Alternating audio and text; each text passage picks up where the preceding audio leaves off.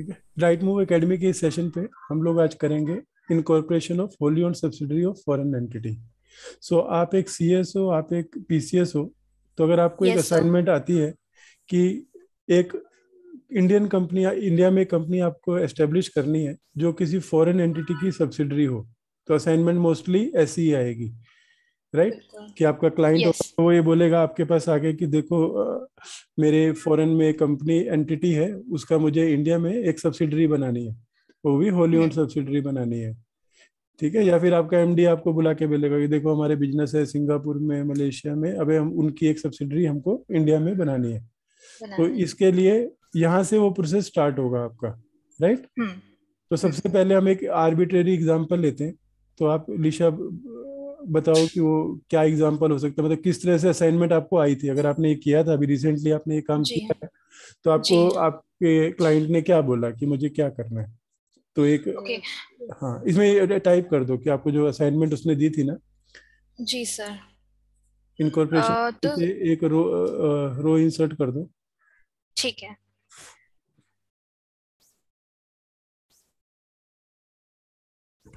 हम्म। और यहाँ पे एक बार वो असाइनमेंट कैसे आपको आई थी वो लिखो। फिर उसके क्या क्या पॉइंट्स थे अपन एनालाइज करेंगे। Yes sir so there was a foreign client जिनका ऑलरेडी बिज़नेस था as an L L C in U S A उनको एक होली ओन सब्सिडी क्रिएट करनी थी इंडिया में because they're already doing business in India तो उनको जो भी फाइनेंशियल uh, मैटर्स थे उससे उनको ऐसा लग रहा था कि अब इंडिया में सब्सिडी क्रिएट करके उनको ज़्यादा फ़ायदा होगा फाइनेंशियली सो तो सबसे अच्छा ऑप्शन ऑब्वियसली उन्होंने खुद ही कंसिडर करा था कि होली ओन सब्सिडरी है क्योंकि आ, सारे बिजनेसेस उनको मेन कंपनी से करने थे जो एलएलसी है। सो uh, so, सबसे पहले हम लोगों ने उनके लिए नेम रिज़र्व नहीं, नहीं वो सेकंड स्टेज होगी। पहले एक बार असाइनमेंट लिखो ना लाइक कि X Y Z LLC told you to do something अब ये एलएलसी कहाँ पर थी? इसके ब्रैकेट में लिखो कि कौन okay. सा कंट्री था। यूएसए ठीक है wanted to incorporate establish yes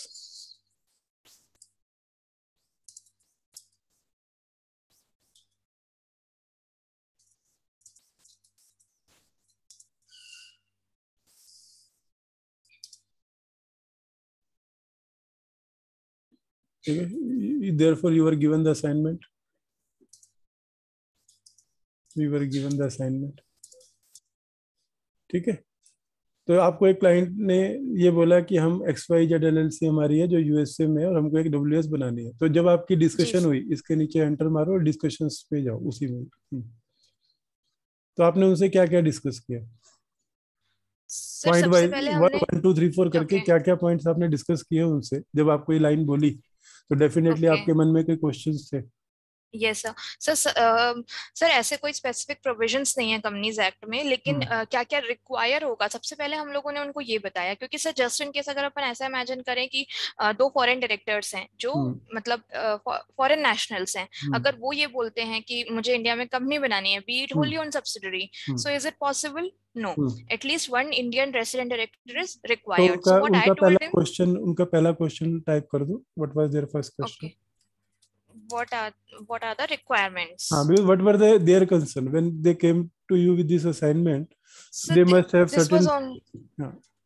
so this was only their uh, key what are the requirements of incorporating okay. uh, a company in india? So uh, what i told them was uh, first and foremost we will require at least one registered office address proof hmm. and second we will require an indian director. Type so, okay what are the requirements? Um,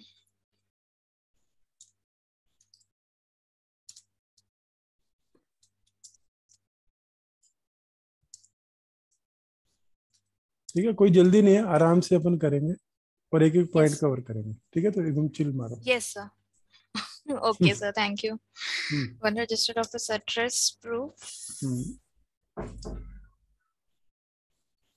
and one Indian resident director तो मुझे okay. क्यों ऐसा लगता है कि आपने उनसे पहले ये क्यों नहीं पूछा कि आप काम क्या करोगे और वो काम इंडिया में अलाउड है क्या?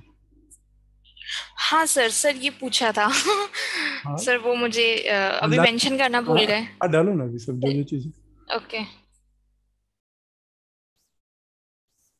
तो अगर मेरे को मेरे पास आएगा कि मुझे कंपनी इनकॉर्पोरेट करनी है तो पहले तो मैं पूछूँगा कि आप करते क्या और वेदर इंडियन लॉ में वो चीज़ यहाँ पर इंडिया में करना अलाउड है कि नहीं है? हाँ. लाइक अगर वो बोले मुझे कैसीनो खोलना है। हाँ, हाँ? हाँ, इंडिया में सर तो इंडिया में वो हाँ इंडिया में वो लीगल है कि नहीं? हम्म। और सर उसमें कितना परसेंट एफडीआई अलाउड है लाइन से आएँगे ना एक एक क्वेश्चन को आएँगे। लाइक हाँ, सबसे पहले उसका क्वेश्चन आया कि जो भी मैं बिज़नेस कर रहा हूँ वो भी ये पूछेगा कि ये अलाउड है कि नहीं? हाँ वी हैव टू चेक हाँ। if it is allowed in India. आप ये कैसे चेक करते हो? सर हमारे पास लिस्ट है फेमा में। That means आपको आपको यहाँ पर चेक करना है कि we have to check इसका आंसर क्या हो गया? अंडर फेमा जो भी आंसर है ना एक काम करो क्वेश्चन को बोल्ड कर दो आंसर को अनबोल्ड रहने दो। ठीक है।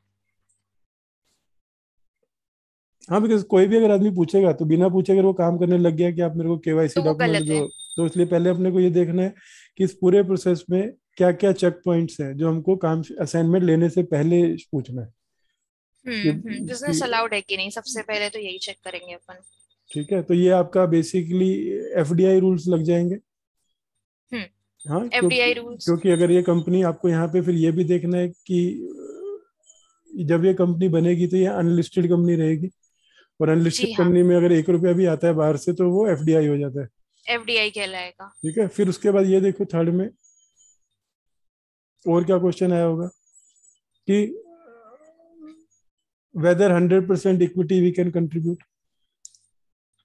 मतलब हम होली ऑन सब्सिडरी बोल रहे हैं पर हम बना भी सकते हैं कि नहीं बना सकते उसको अलाउड इन दैट सेक्टर और नॉट यस राइट ये क्वेश्चन भी आएगा।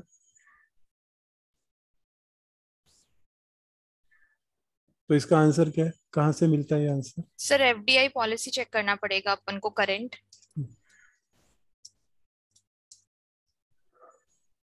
राइट ना? ये सब चीज़ें अपने को yes, लगेंगी। Yes sir yes sir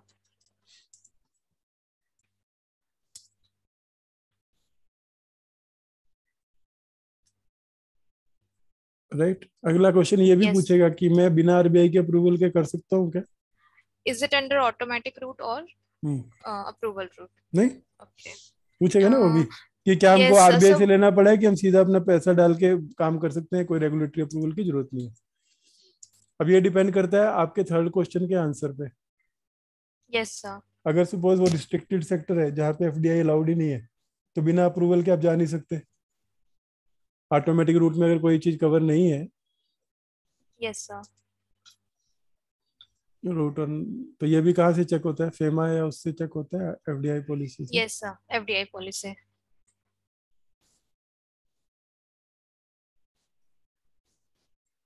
right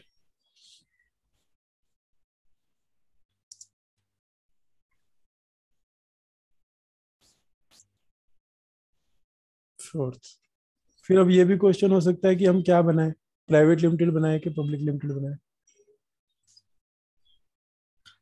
yes uh, sir अगर क्लोज नेट है तो अपन सजेस्ट करेंगे क्लाइंट को कि आप प्राइवेट लिमिटेड ही बनाइए। और अगर आपको फ्यूचर में इशू करने हैं शेयर्स पब्लिक को या पब्लिक फंडिंग चाहिए तो हम्म। अपन फिर क्लाइंट को ये सजेस्ट करते हैं। आई थिंक दो पॉइंट्स रहते हैं प्राइवेट या पब्लिक है ना? तो यहाँ पे ये क्वेश्चन भी उसका रहेगा कि हमको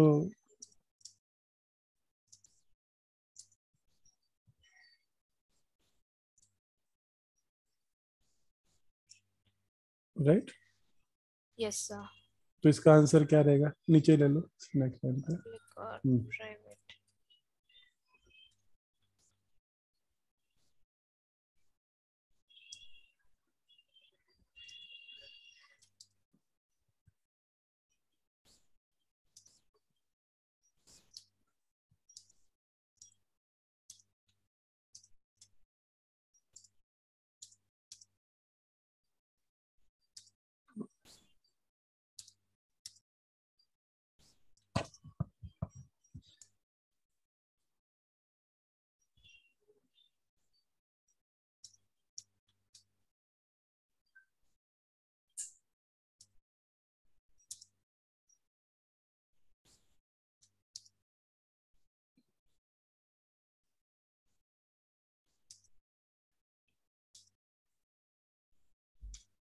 राइट उसके बाद अगला क्वेश्चन क्या रहेगा? Is there any minimum capital we have to invest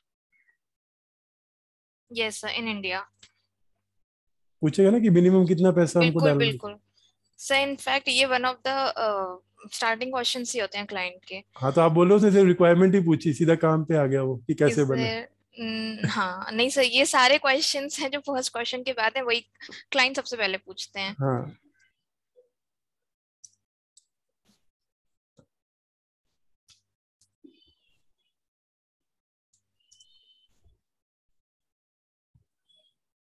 आपका इंट्रोडक्शन दिया नहीं मैंने वो हम बाद में Oh. देंगे एकदम हाँ? जी सर जी सर। लोग अपने पूछेंगे कौन है ये? ठीक है। तो सर अभी तो मिनिमम कैपिटल की रिक्वायरमेंट खत्म हो गई है। हम्म।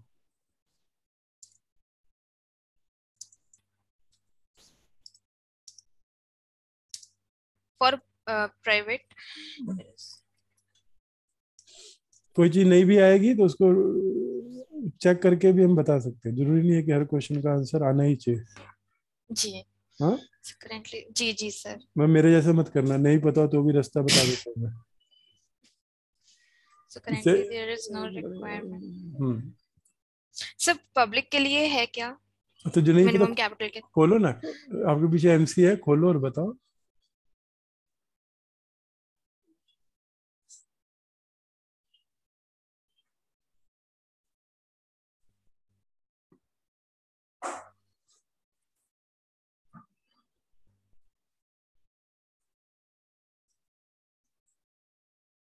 रूल्स में रहेगा? इनकॉर्पोरेशन में रहेगा? कि किसमें रहेगा? सेवंथ में। इन, सर इनकॉर्पोरेशन में होना चाहिए था। आनी चाहिए ना सेवंथ सर कौन सा? वहीं पे सेक्शन सेवन था ना।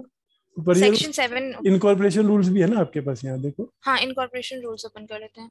जो मैंने बनाई नहीं है तो मुझे नहीं पता तो मैं तो आपसे ही पूछूँगा। सर वो प्राइवेट कंपनी थी।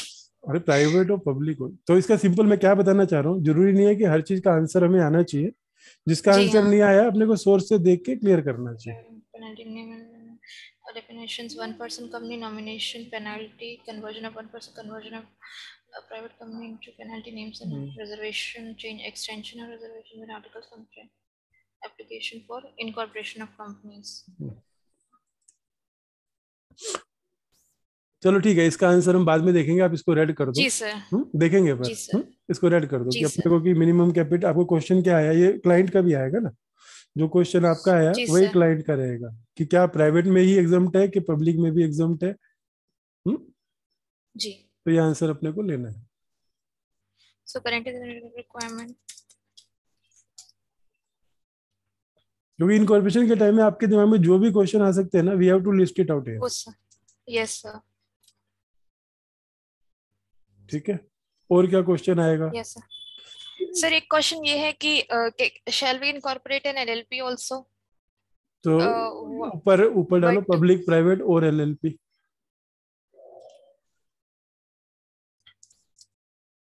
तो इसका आंसर क्या रहेगा? सर आई बिलीव कि प्राइवेट कंपनी की क्रेडिबिलिटी थोड़ी ज़्यादा रहती है। uh, और अगर कोई बिज़नेस सेटअप करना चाह रहा है इंडिया में so we will probably suggest them to incorporate a private company because expenses and all will be same नहीं दो चीज़ें हैं। एक एलएलपी क्या हर चीज़ कर सकती है? ओके फ़र्स्ट थिंग फिर एलएलपी में क्या हंड्रेड परसेंट हर जगह पे इन्वेस्टमेंट अलाउड है? ये दो कंसिडरेशन अपने को देखना पड़ेगा। ओके तो तो ये क्वेश्चन का आंसर हमको एलएलपी को रेड करो। इस क्वेश्चन का भी आंसर लेना है कि क्यों एलएलपी नहीं क्यों सब्सिडरी चाहिए? ठीक है। समझे ना? अभी जिस चीज़ का क्वेश्चन का आंसर आपको एकदम क्लियर नहीं है। जी। मतलब you are in to doubt कि एलएलपी में जनरल हम्म। बोल रही हो कि एलएलपी में कम। होता है इसमें ज़्यादा होता है? नहीं। स्पेसिफिकली अपने नहीं करना पर्टिकुलर क्या है? क्योंकि क्लाइंट जब है क्लाइंट आप उसके लिए डॉक्टर हो। तो डॉक्टर के पास जब आप जाते हो तो डॉक्टर ये बोले कि शायद आपको सर दर्द है शायद आपको कैंसर है तो आप उसी टाइम भाग जाओगे। नहीं चलेगा। तो you have to you have to be very specific when you are talking to client और वो तभी हो सकता है sir. जब आपको अपने सब्जेक्ट का पूरा पता होगा। तो उसमें जब ये क्वेश्चन आ रहा है अपने को कि एलएलपी की फॉर्म क्यों नहीं हो सकती या हो सकती है? कि लोग करते हैं एलएलपी अभी इनकॉर्पोरेट करते हैं। एलएलपी तो करते हैं। तो उनकी कंपैरेटिव एडवांटेज डिसएडवांटेज क्या है? वो अपने को देखना पड़ेगा। इसलिए हमने एलएलपी को रेड कर दिया कि क्यों हम एलएलपी सुजेस्ट करते हैं या नहीं करते हैं। जी जी ठीक है ठीक है? और क्या क्वेश्चन है?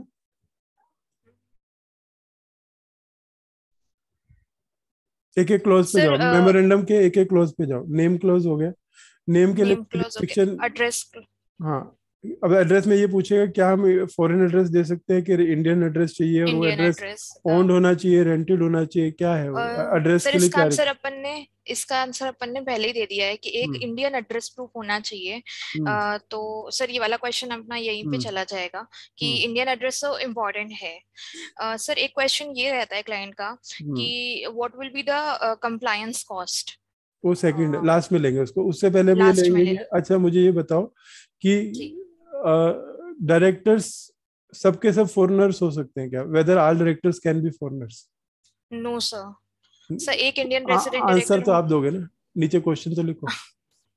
जी sir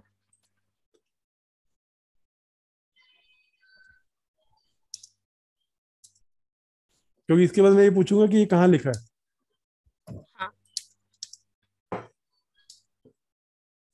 can be Indian director और सेकेंडली एक मिनट दोनों दो दो बार दो बार लो इस क्वेश्चन को। फॉरेन डायरेक्टर्स और फॉरेन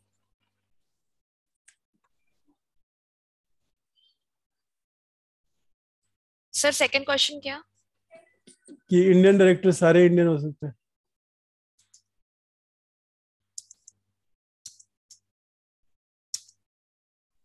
ठीक है। जिसका आंसर अभी आपको एकदम रेडी है वो आंसर लिखो जिसका नहीं है उसको हाईलाइट करके रखो हम निकालेंगे। एंड ऑफ़ द सेशन हर एक का आंसर होगा अपने पास। क्या आंसर है? प्राइमा फेसी क्या आंसर है आपका? सर प्राइमा फेसी तो ये है कि ऑल इंडियन तो डेफिनेटली हो सकते हैं हम्म। पर ऑल फॉरेनर्स नहीं हो सकते हैं क्योंकि सर वही प्रोविज़न में लिखा हुआ है कि एटलीस्ट वन इंडियन तो अभी के अभी के लिए लिख दो कि at least one should be Indian director फिर हम चेक करेंगे इस चीज़ को।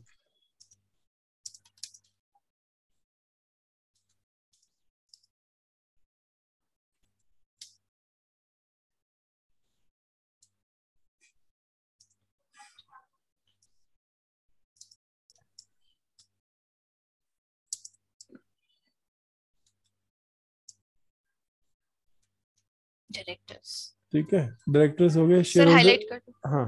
हाईलाइट कर हम्म। जी। अब क्योंकि आप एक होली और सब्सिडरी बना रही हो तो nominee director nominee share holder can be out foreigner अभी मिनिमम अभी अभी समझो प्राइवेट लिमिटेड कंपनी है तो दो चाहिए। एक तो एलएलसी होगी। जी। तो whether LLC can be share holder yes yes. Sir so can can share holder तो जो नॉमिनी है whether that nominee can be a foreign person nominee shareholder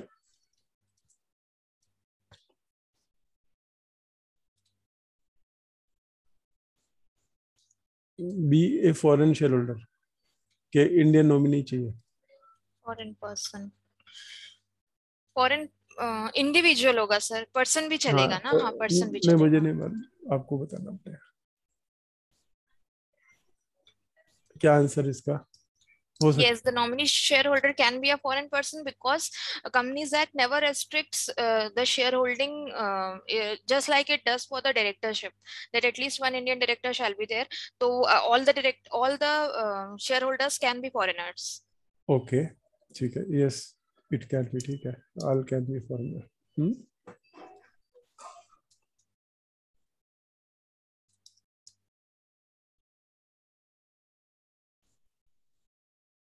अब ये वो पहली मीटिंग चल रही है जहाँ पे क्वेश्चन पे क्वेश्चन पूछे जा रहे हैं आपसे हाँ? आप हर एक का हाँ। जवाब पे जवाब दे जा रहे हो।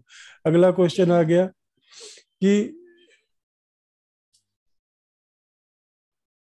what are the other compliance we have to do for incorporation of company auditors या क्या क्या लगेगा आपको?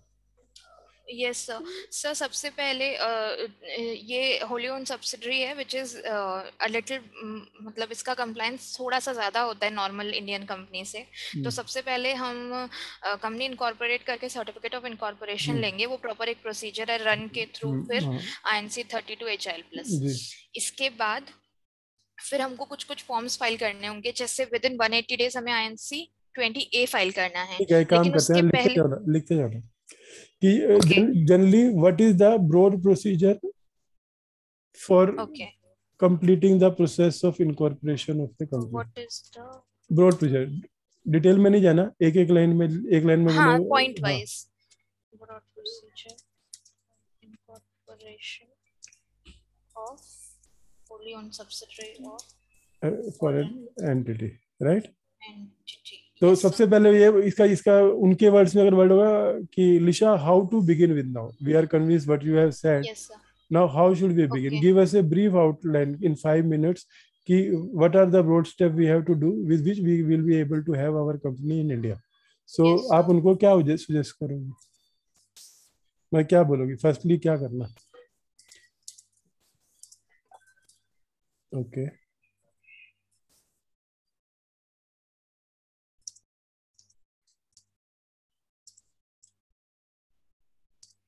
पर बीच में इन दोनों के बीच में मुझे क्यों ऐसा लगता है कि एक स्टेप मिसिंग है? नेम uh, रिजर्वेशन करेंगे और सेकंड अब आपने मुझको बोला at least one registered Indian address होना चाहिए तो वो कैसे होगा? अगर आप सीधा फॉर्म फॉर्म भरने लगोगे तो उसमें एड्रेस कौन सा डाल रहे हैं तो सर वो सारा okay we have to arrange all the paper work paper work हाँ तो लाइन से चलो।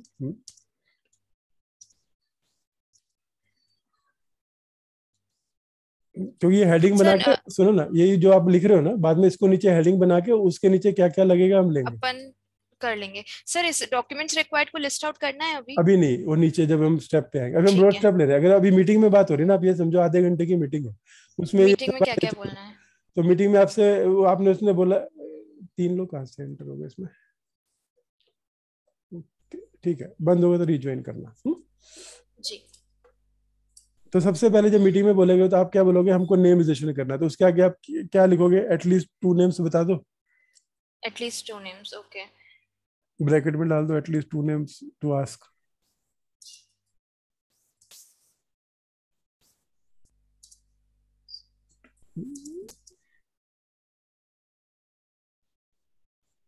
ठीक है। We have to arrange the all document required broad में लिखो कि ये ऑल डॉक्यूमेंट किस कंटेक्स्ट में all documents like registered office proof अब ये किसका होना चाहिए? इंडियन ये इंडियन कहाँ आइडेंटिफाई हुआ प्रोसीजर में तो?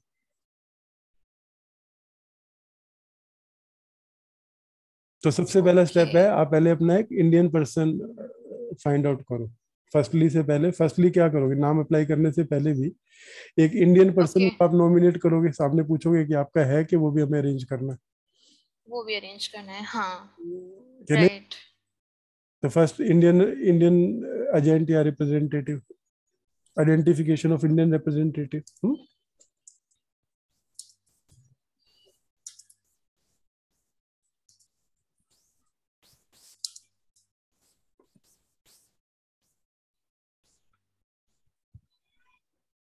तो ये आपके केस में कैसा हुआ था? इंडियन पर्सन आइडेंटिफिकेशन के बारे में। उन्होंने खुद ही नाम दिया। सर इनिशियली तो क्लाइंट का ऐसा था कि we both the husband and wife are foreigners तो वो हम्म। चाह रहे थे कि वो दोनों ही डायरेक्टर बन जाएँ. But. That since that was not allowed the client has a friend located in Ahmedabad so उन्होंने उसको डायरेक्टर बना दिया था. और जो क्लाइंट है वो एनआरआई है. हम्म, तो उनका एक रेसिडेंस भी था यहाँ पे गुजरात हम्म, में। तो उन्होंने उसी को एड्रेस प्रूफ दे दिया था. ठीक है. तो Indian person shall be identified जो कोऑर्डिनेट करेगा सब जिसके साथ आप कोऑर्डिनेट करोगे मोस्टली फिर आप उनको बोलोगी कि हमको नेम रिजर्वेशन करना है सही है। उसके बाद आप करोगी please provide all the we will be requiring document आप बोलोगे कि मैं डॉक्यूमेंट की लिस्ट आपको भेजूँगी। तो आपसे Yes, पूछेगा कि ये किस टाइप के डॉक्यूमेंट है? तो आप उसको ब्रॉड आइडिया दोगी ये क्या डॉक्यूमेंट है? केवाईसी है क्या है? केवाईसी एड्रेस प्रूफ है ना? हम्म, और केवाईसी एड्रेस फोटोग्राफ्स। डिटेल में जाएँगे जब हम उस टाइम पे आएँगे फॉर्म के हिसाब Yes, खाली ब्रॉड ब्रॉड पकड़ो। ये सिर्फ़ पहली मीटिंग के कंटेक्स में मैं पूछ रहा हूँ। हाँ सर और सर कुछ डॉक्यूमेंट्स अपन अपने एंड पे प्रिपेयर करेंगे। हम्म। जो उनसे अपन को साइन करवाने हैं। जो उनको अरेंज करने हैं ये आप बोलो ना कि उनसे क्या लगता है। सर केवाईसी लगेगा दोनों का एक रजिस्टर ऑफ़िस का एड्रेस प्रूफ लगेगा और फोटोग्राफ लगेगा। ठीक है। उसके बाद चलो ये हो गया। नेक्स्ट स्टेप क्या है इसके बाद? अब नेम अप्रूवल हाँ। हो गया। सर ये दोनों का लगेगा of LLC and individuals also okay. Secondly we have to incorporate form नहीं अब इसके पहले अभी आप एक स्टेप लोग चलो नेम अप्रूवल हो गया। Receipt of name approval letter broad process लिख रहे हैं। जी जी तो अभी इससे पहले इनकॉर्पोरेशन फॉर्म आप तभी फ़ाइल करोगे जब आपको नेम अप्रूवल आ गई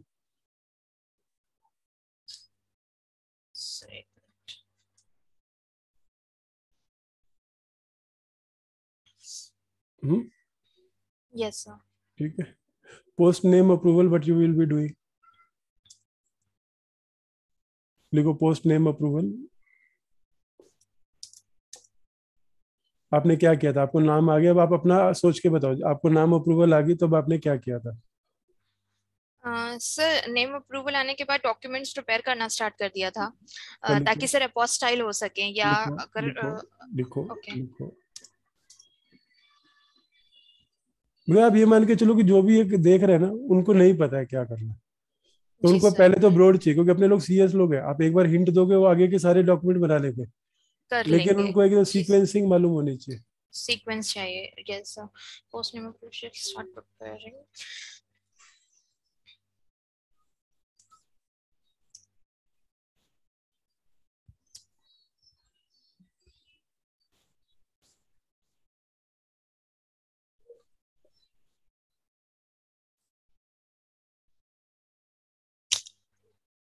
ये इन्होंने रूल चेंज किया क्या? पहले पहले दो लोगों में तो अनलिमिटेड टाइम होता था अभी दो लोगों में भी फोर्टी मिनट्स दे रहा है। हाँ सर सर लेकिन अच्छा अगर हम मीटिंग क्रिएट करते तो शायद हो जाता क्या? हाँ क्योंकि आप पहली बार कर रहे थे। पहली बार कर रहे थे। आई एन सी नाइन हो गया रेजोल्यूशन हो गया। रेजोल्यूशन फॉर ऑथराइजिंग डिटेल में जाओ कल जनरल बोलो। जो रेजोल्यूशन ठीक है सर रेजोल्यूशन हो गया। हम्म। इसके बाद ये सर ठीक है बाकी आ, पर मेरे को पूरे प्रोसेस में ये समझ नहीं आया कि आप ना तो डिन ना डीएससी दोनों में से किसी के बारे में नहीं बोल रही हो यहाँ तक। जी हाँ सर डीएससी तो सबसे पहले करते हैं। सर दिन अपन दिन वी विल अप्लाई साइमल्टेनियसली तो डीएससी डीएससी पहले रजिस्टर करोगे हाँ, काम शुरू करने से पहले। बिज़नेस यूज़र ये नेम अप्रूवल कैसे हो जाएगा जब तक आप रजिस्ट्रेशन नहीं कराओगे साइट पे? डीएससी को। सर सर नेम अप्रूवल हो जाएगा ना? नहीं नहीं आगे का जो आगे आगे आगे का जो प्रोसेस आगे हाँ सर सर स्पाइस में चाहिए पड़ेगा। तो यहाँ पे अब आपको क्वेश्चन आएगा। अपने नेम रजिस्टर किया और पोस्ट नेम अप्रूवल के बीच में आप डालो। पूछो ना ऐसे क्वेश्चन पूछ सकता हूँ। क्योंकि मैं ए क्लाइंट बात करूँगा तो मैं पूछूँगा कि भैया ये कब करना है। जी, सर। हाँ तो नेम रिजर्वेशन के बाद एक एंटर मारो और वहाँ पे लिखो कि हमको डिजिटल सिग्नेचर्स लेने और रजिस्टर करने हैं एमसी की साइट पे। क्लास थ्री वो भी। अब तो सब क्लास थ्री आते हैं।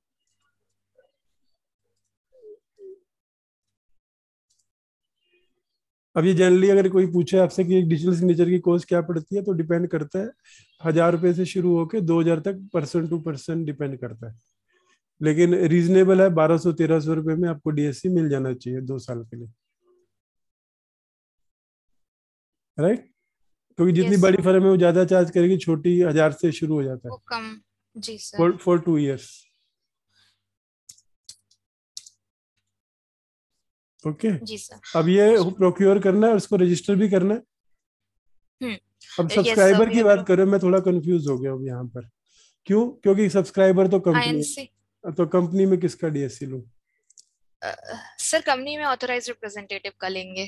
तो तो ब्रैकेट में डालो सब्सक्राइबर के कि authorise representative of LLC plus nominee right इन्हीं दो का लगेगा ना? यस सर उसके अलावा एक्चुअली ना सर एक्चुअली ऐसा होता है। हाँ बोलो। आईएनसी 9 में दोनों सब्सक्राइबर्स का लगेगा। अगर आईएनसी हम्म। 9 फ़िज़िकल में नहीं जा रहा है तो। और हम्म। सर जो एप्लीकेशन एस्पाइस का फॉर्म है उसमें हम्म। सर डायरेक्टर का लगता है एक इंडियन तो, डायरेक्टर का। तो मतलब जनरली हम यही करते हैं। तो अभी ये हम कहाँ पे आ रहा हूँ कि हमको कितने डीएससी लगेंगे? तो एलएलसी का रिप्रेजेंटेटिव का लगेगा नॉमिनी का लगेगा प्लस जो डायरेक्टर नॉमिनेट होने वाले हैं आप ये मानो कि सब सबका हम ले रहे हैं। क्योंकि कभी ना तो अगर दो डायरेक्टर रख रहे हो तो मिनिमम दो डायरेक्टर का। दो डीएससी उसी के आगे लिखो LLC and nominee and two directors इस ठीक है। आप चाहो तो मिनिमम एक का भी ले सकते हो लेकिन दो डायरेक्टर लिया तो हाँ. तो एडवाइजेबल है क्योंकि कभी भी ज़रूरत पड़ेगी।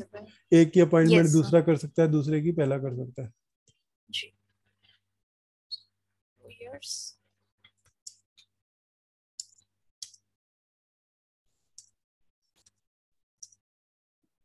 अब ये डीएससी एज ए क्या बिज़नेस यूज़र रजिस्टर करना? यस बिज़नेस यूज़र करना पड़ेगा तभी जाके फॉर्म चेंज हो गया ना अभी रजिस्टर्ड यूज़र अलग हो गया। हाँ, अब बिज़नेस यूज़र अलग हो गया।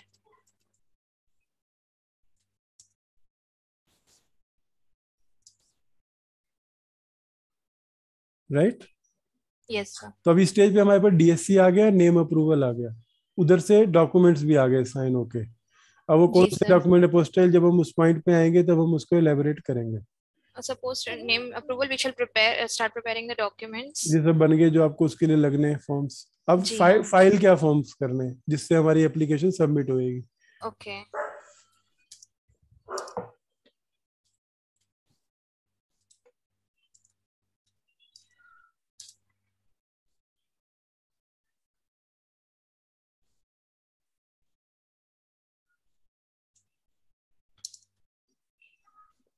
ठीक है? अभी बंद हुआ तो रिज्वाइन कर लेना। जी sir. Spice plus agile pro